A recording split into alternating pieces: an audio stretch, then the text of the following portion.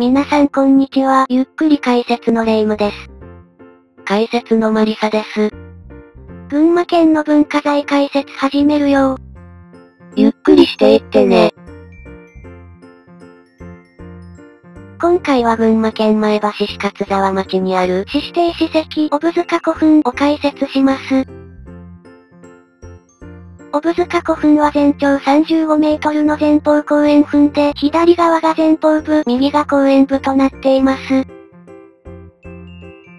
左側の前方部が道路で削られているぜ。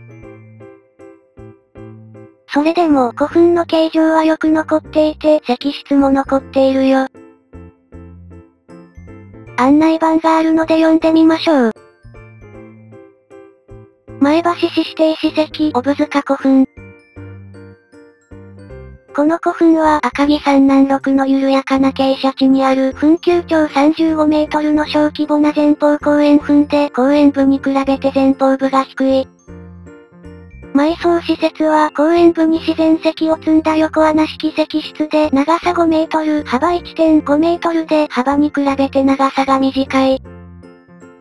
発掘調査の結果、石室から人骨と刀や耳輪など多くの副葬品が出土し、墳丘からは、円筒埴輪列と刀や人物などの継承埴輪列などが発見されている。6世紀後半に作られたものとしては古い形をとどめている。次に左の石室の写真を見ていきます。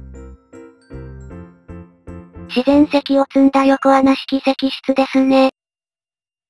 では改めてオブ塚古墳を見ていきましょう。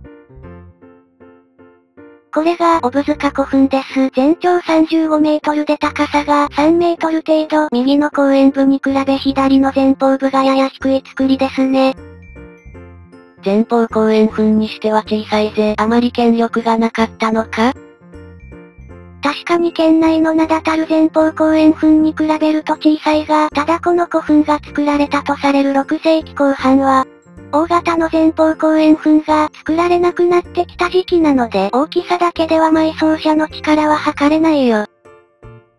ましてや、一説によると前方後円墳を作るには、大和王権の許可が必要だったとされているんだ。だから小さくても前方後円墳が作れた人物は、大和王権に認められたということになる。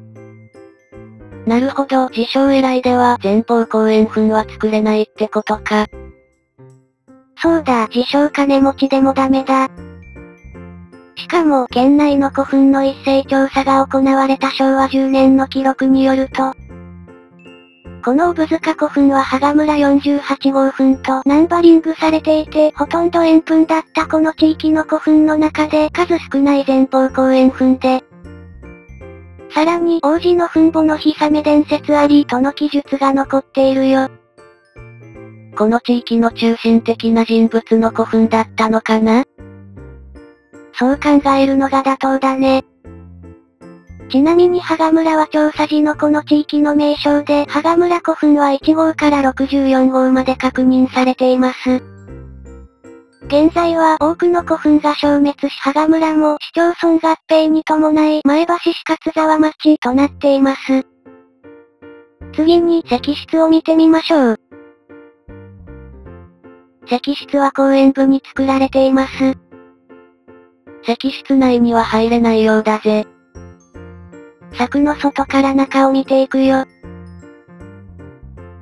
案内板の通り幅が1.5メートル、長さが5メートルの自然石を積んだ石室ですね。